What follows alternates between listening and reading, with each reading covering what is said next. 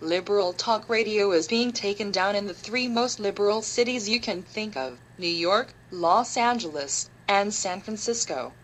In one of the cities, they are going to replace it with conservative talk radio.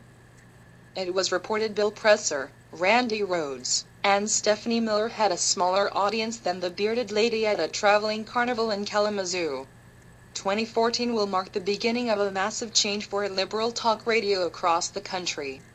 In New York, WWRL 1600 AM will flip to Spanish language music and talk, throwing Ed Schultz, Thom Hartmann, Randi Rhodes, and Alan Colmes off the air. In Los Angeles, KTLK 1150 will be dumping Stephanie Miller, Rhodes, Bill Press and David Cruz off the air in favor of Glenn Beck. Rush Limbaugh and Sean Hannity. In San Francisco, New 960 will leave Miller, Hartmann, and Mike Malloy without a radio home in the market.